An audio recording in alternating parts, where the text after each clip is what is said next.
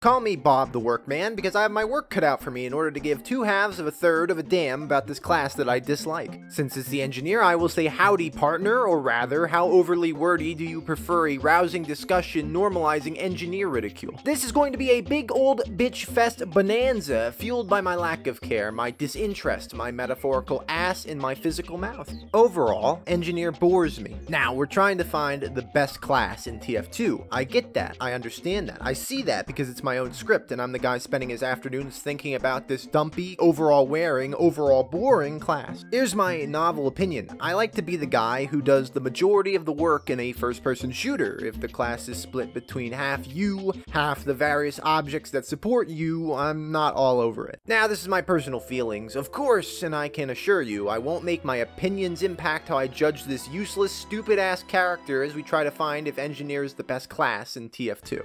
For newcomers to this series, I take a class, in this case Fat Fat Fuck, and judge them in three areas. We disregard the class's characterization because TF2 made every personality memorable and fantastic. I'm interested in a class's casual viability, essentially meaning how good it is against droves of Jose Martinez 2003s or anyone else who has been recently born. Then we move on to competitive viability, which is a steadily dying concept that will be enjoyed by all 50 people who have played the game competitively, Finally, I needed a third section of evaluation, so we'll look at engineer in the game's PvE game mode, man versus machine. This section will probably be 45 seconds long because really the question is, is engineer, the guy who builds buildings that support defense, good at the tower defense game mode? I like to begin by looking at the class's equipment choices, of course those being primary, secondary, and melee.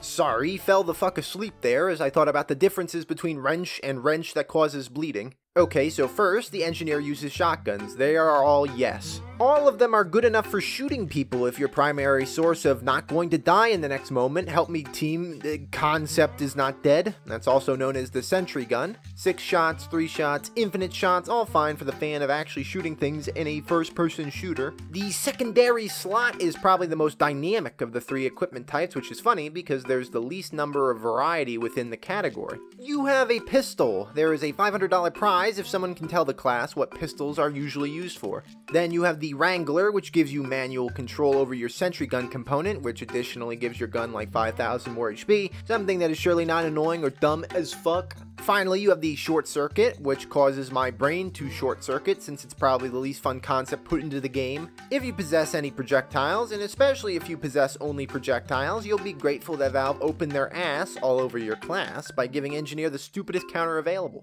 The engineer impacts his buildings with his melee weapons, and to be honest, there's so little to give a damn about in this section. There's the wrench, the bleed wrench, the wrench that used to be the meta but is not so good anymore, and then there's the gunslinger, of course, giving you a mini sentry instead of a regular one. This turns you from a sitting duck to don't give a fuck as you abandon any kind of fortified setup and waltz through the battlefield with your own might to support you. You cannot spell TF2 without T, which can stand for totally, and F standing for fun, obviously. It's more the style of everyone playing the game to run about with the gunslinger and have a rousing time not building a dispenser, a teleporter, or caring about anyone else on your team at all. Before I get to the actual meat of conversation, I'm enjoying giving a first-hand, long-time player, arrogant bastard opinion about each class's typical player base and stereotypes. There's a big two-idea thing going on. Engineer players either don't exist because they're scout players forced to play a class that is kinda like scout, or they're actual engineer mains who are certain about it being an out-of-left-field top-tier class. The people who like to use the sentry gun to rocket jump into a corner that no one goes near anyway, and those who put dispensers in locations that are 15% more tactical and 100% more useless since they aren't placed where anyone will actually want to go. In other words, this is Uncle Dane. This all relates to the gameplay experience of Engi, which is either, wow, I need to do something else with my day, or damn, this class is not as good as the others. In casual, you are a completely dominant, powerhouse force that can shut down literally everyone because you used your class mechanics. It's almost unreal how no one understands how to deal with the sentry gun. They will walk into it,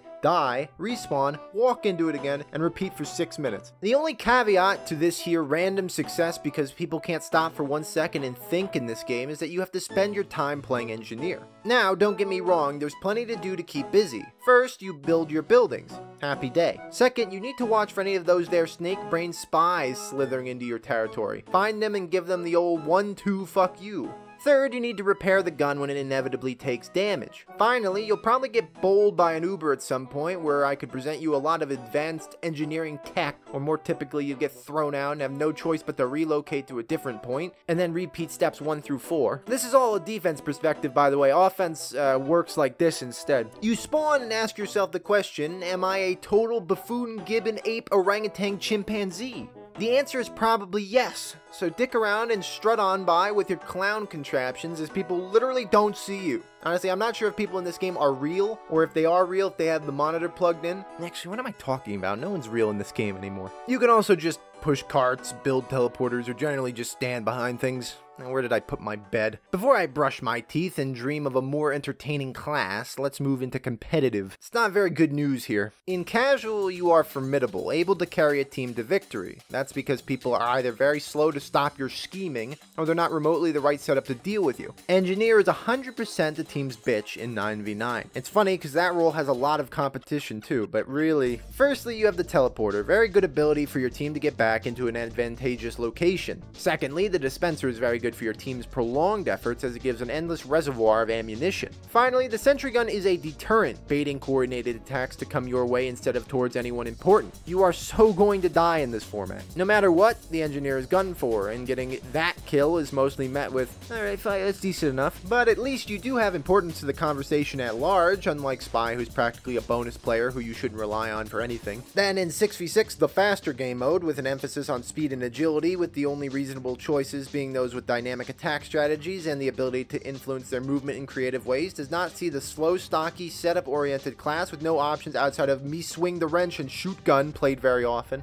If your team is on the back foot and pushed to the brink of defeat, you sometimes see Engineer being used to make a quick time deterrent in the form of the sentry gun. Otherwise, it's better to play something with some speed. So, here's an arbitrary rating of 5 out of 7 in casual and 2 out of 9 in competitive. I could have come up with real statements that made sense, but I doubt that it could enhance the otherwise stupid ass script I'm in the process of making, and instead of coming up with something good, let's just move into man versus machine. The engineer is very good in this format, but again, mostly every class is. There's something to be said that Valve had to develop a strict counter to engineer stacking in the form of sentry busters, which walk up to you, and as long as you have any form of reaction time, you can avoid their dangers. Feel free to mosey them into your team though, that's always good for a laugh. The upgrades make your turret-based gameplay better, and you can even opt into this awful, totally garbage shit tier ability for 500 bucks, which does nothing and is very bad, but you know, it's there for flavor, we can enjoy that. Or maybe take your hard-earned money and invest it on jump height, on engineer, or fire resistance. Valve, could we have some changes to this format, please? It could be a lot of fun. Also, Valve, could we have some updates to this game? But in general, I give engineer a very big dick rubbing out of 5. In the MVM Man vs. Machine game mode. Gotta burn 3 seconds for this section to be 45 seconds done. So, evaluation time, right? Let me check my watch. Yep, it's bedtime. Engineer loses out on securing one of my four good classes to pit against each other seats. Still figuring out a more eloquent way to phrase that. His slowness, as well as his reliance on buildings that are not exactly brimming with benefits, is a big downside. Yeah, it is nice that he dictates some of the game by just being, but he's even worse at that than another couple of the classes. Best class in TF2 next week instead?